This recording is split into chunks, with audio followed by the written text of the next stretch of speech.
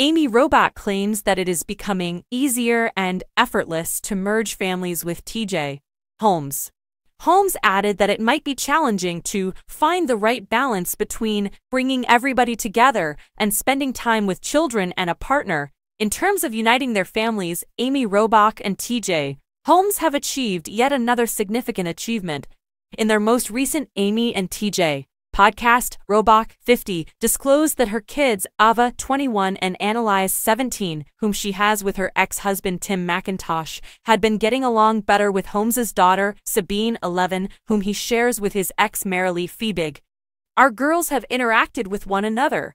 When your daughter was younger, my girls watched her, and I know they spoke on her birthday as well. It was really lovely, Robach remarked on the podcast, probably alluding to Ava's December 29 birthday. Robach went on, It's just nice to see everything actually getting easier and more routine. Because it was work earlier, and perhaps that was just us working on the circumstance, but it's worked out really well. While acknowledging that it might be challenging to find the right balance between spending time with his children and his partner and bringing everybody together, Holmes, who also has a daughter named Brianna and a son named Jaden with his ex-wife Amy Ferson, commended Robach for her efforts with his youngest daughter. You've been amazing, and witnessing Sabine's genuine acceptance of her situation over the last few months or more has been one of the greatest, greatest, greatest joys, said Holmes, 46. Although she has known you since she was one years old, it has been amazing to witness her come to understand you in a new way. Well, Robach's not at the house, and then she's like, okay then, I don't want to come because she's disappointed you're not there, he said when he picked her up from school. The former anchor of GMA3, What You Need to Know claimed that being a girl mom was the reason behind her success with Sabine.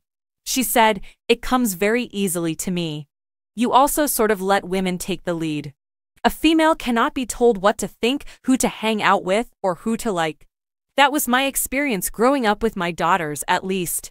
Therefore, it has been quite helpful to me in navigating everything. In November 2022, Robach and Holmes' romance came to light after they were seen holding hands and showing PDA at a bar in New York City.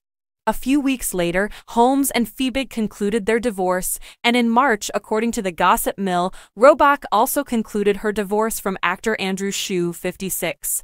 The former GMA3, What You Need to Know anchors have been more at ease flaunting their romance in public over the last few months, with many of their romantic escapades taking place both domestically and overseas. The two even made their red carpet debut together at iHeartRadio's Jingle Ball 2023 last month.